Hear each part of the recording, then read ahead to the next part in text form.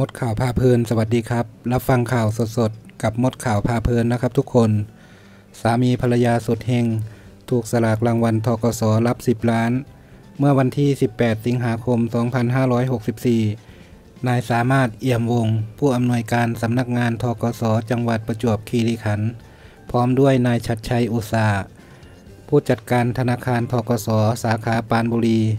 นางปรารถนารัตนกระจ่าง ผู้ช่วยผู้จัดการธนาคารทกสสาขาปราณบุรี นางเรนูศรีพินันหัวหน้าฝ่ายการเงิน ร่วมแสดงความยินดีและมอบเงินรางวัลสลากออมทรัพย์ทกสชุดเกษตรมั่งคั่ง 4 เป็นเงินรางวัลจำนวน 10 ล้านบาท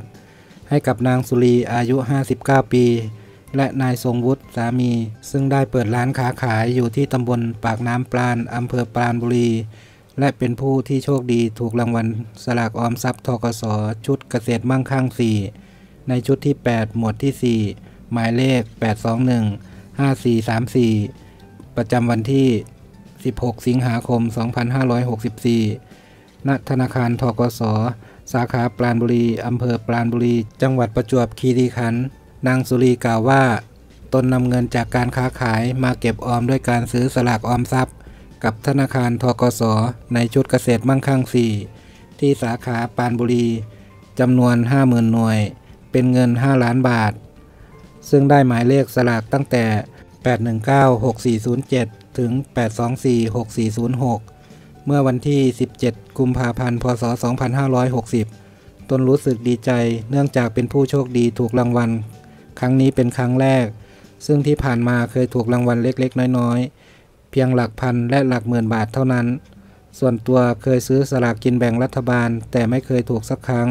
ส่วนหวยใต้ดินตนไม่ขอยุ่งเกี่ยว โดยส่วนใหญ่จะนำเงินที่ได้จากการประกอบอาชีพ มาออมกับธนาคารทกสด้วยการซื้อสลากออมทรัพย์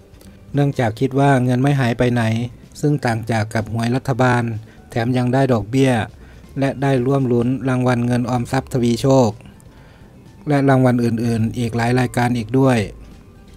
ซึ่งตนเองกับสามีมีแนวคิดว่า เงินที่ถูกรางวัลจำนวน 10 ล้านบาทนี้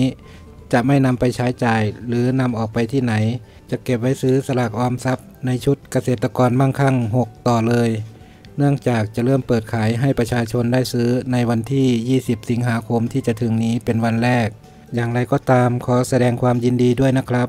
รับทรัพย์ก้อนโตกันเลยทีเดียวครับ ขอขอบคุณข้อมูลจากสยามสตรีทครับ ถ้าเพื่อนๆชอบคลิปนี้ฝากกดไลค์และกดกระดิ่งติดตาม เพื่อเป็นกำลังใจให้ช่องมดข่าวพาเพลินด้วยนะครับ ขอบคุณครับ